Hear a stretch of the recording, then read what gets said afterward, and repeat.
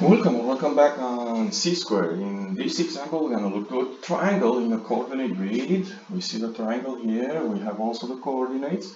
And they ask us to classify this triangle. And I put here a hint, U sides or angle. And if we look to the sides, we kind of notice in the picture that all these sides are different, right? They're not equal. But if I look to the angles, this one, maybe, maybe, we don't know, it's a right angle. We don't know, so we're gonna put question. How are we gonna do that? We're gonna look to the slope of segment AB, right? If you remember the slope of segment, okay? So we can do that rise over run. One, two, three, four, four, one, two, three, four, five, six. Four over six, and what else we need to be aware of? You need to be aware that this is a negative slope, right? Yeah, it's a negative slope. Because, no, it is a positive slope. I was wrong. It goes up from left to right. Okay? So the slope of AB is 4 over 6, which can be simplified by the way as 2 thirds. Okay? But what about the slope of BC?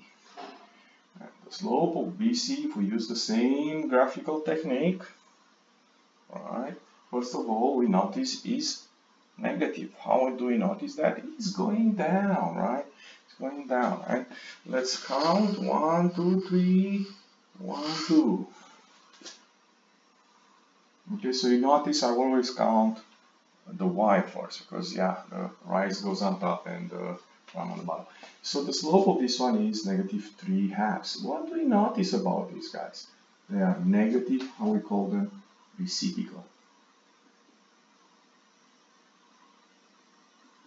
Which means what for us? Which means that AB perpendicular on BC, the segments or the line, either way.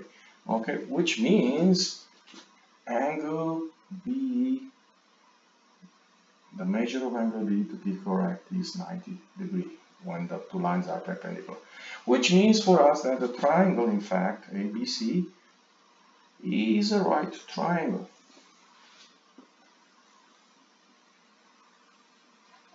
Okay. Now some of you may say, I want to look to the sides. Are these any of these two uh, or any of these sides congruent with another one? Okay.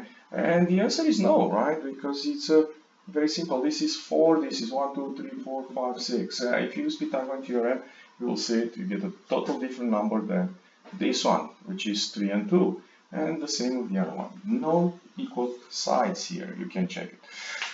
If you enjoyed this video clip, don't forget to click the like button and come back on C square. Thank you.